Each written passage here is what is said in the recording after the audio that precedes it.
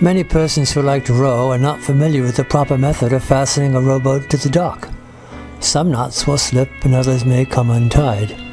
By providing the simple arrangement shown in the drawing, anyone can quickly fasten the boat so that it will not come loose and drift away.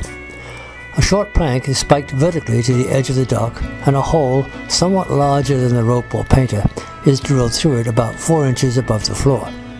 The hole should be tapered with a sharp knife so that the opening facing the water is at least one quarter inch less in diameter than the opposite one. A hardwood stopper, about half as large across as the hole, is made and fastened securely with a wood screw to a strip of spring steel which is bolted or screwed to the plank above the hole so that it forces the stopper into the hole.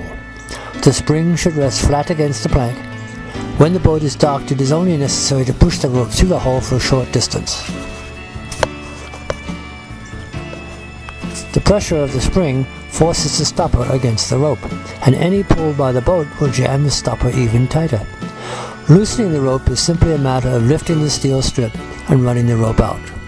Because no knots are used, the boat rope need be but a few feet in length.